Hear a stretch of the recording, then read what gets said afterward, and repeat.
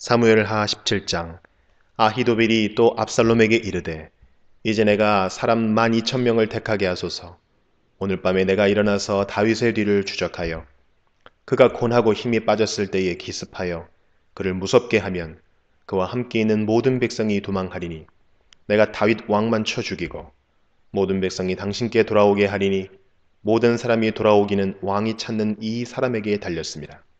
그리하면 모든 백성이 평안하리이다 하니 압살롬과 이스라엘 장로들이 다 그 말을 옳게 여기더라. 압살롬이 이르되 아렉 사람 후세도 부르라 우리가 이제 그의 말도 듣자 하니라.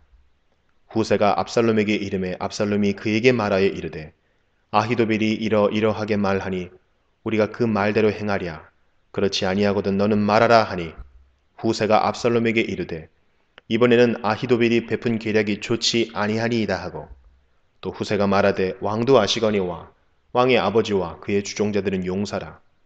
그들은 들에 있는 곰이 새끼를 빼앗긴 것 같이 격분하였고 왕의 부치는 전쟁에 익숙한 사람인즉 백성과 함께 자지 아니하고 지금 그가 어느 굴에나 어느 곳에 숨어 있으리니 혹 무리 중에 몇이 먼저 엎드러지면 그 소문을 듣는 자가 말하기를 압살롬을 따르는 자 가운데에서 폐함을 당하였다 할지라. 비록 그가 사자 같은 마음을 가진 용사의 아들일지라도 낙심하리니 이는 이스라엘 무리가 왕의 아버지는 영웅이요 그의 주종자들도 용사인 줄 알미니이다. 나는 이렇게 계략을 세웠나이다. 온 이스라엘을 단부터 부엘세바까지 바닷가의 많은 모래같이 당신께로 모으고 친히 전장에 나가시고 우리가 그 만날 만한 곳에서 그를 기습하기를 이슬이 땅에 내림같이 우리가 그의 위에 덮여 그와 그 함께 있는 모든 사람을 하나도 남겨두지 아니할 것이요.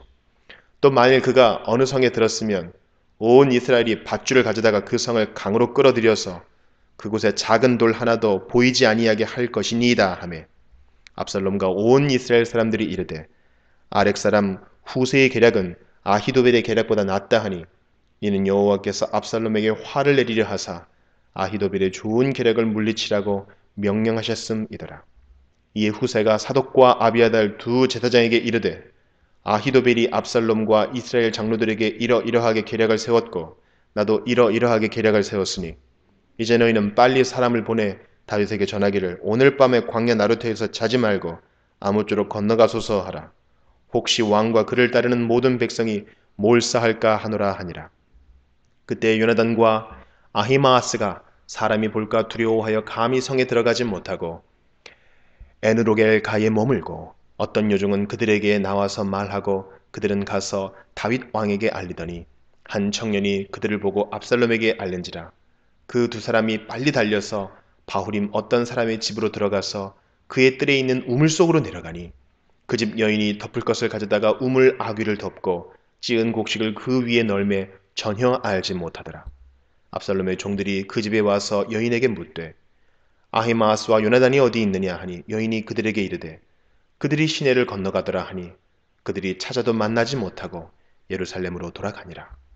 그들이 간 후에 두 사람이 우물에서 올라와서 다윗 왕에게 가서 다윗 왕에게 말하여 이르되 당신들은 일어나 빨리 물을 건너가소서 아히도벨이 당신들을 해하려고 이러이러하게 계략을 세웠나이다. 다윗이 일어나 모든 백성과 함께 요단을 건널세 새벽까지 한 사람도 요단을 건너지 못한 자가 없었더라. 아히도벨이 자기 계략이 시행되지 못함을 보고 나귀의 안장을 지우고 일어나 고향으로 돌아가 자기 집에 이르러 집을 정리하고 스스로 목매어 죽음에 그의 조상의 묘에 장사되니라. 이에 다윗은 마하나임에 이르고 압살롬은 모든 이스라엘 사람과 함께 요단을 건너니라. 압살롬이 아마사로 요압을 대신하여 군 주의관으로 삼으니라. 아마사는 이스라엘 사람 이드라라 하는 자의 아들이라. 이드라가 나하스의 딸 아비갈과 동침하여 그를 낳았으며 아비갈은 요압의 어머니 수르야의 동생이더라. 이에 이스라엘 무리와 압살롬이 길르앗 땅에 진친이라. 다윗이 마하나임에 이르렀을 때에 암몬 족속에게 속한 라빠 사람 나하스의 아들 소비와 로데발 사람 암미엘의 아들 마길과 로글림 길라 사람 바르실레가 짐상과 대야와 질그릇과 밀과 보리와 밀가루와 볶은 곡식과 콩과 팥과 볶은 녹두와 꿀과 버터와 양과 치즈를 가져다가 다윗과 그와 함께한 백성에게 먹게 하였으니 이는 그들 생각에 백성이 들에서 시장하고 곤하고 목마르겠다 함이더라.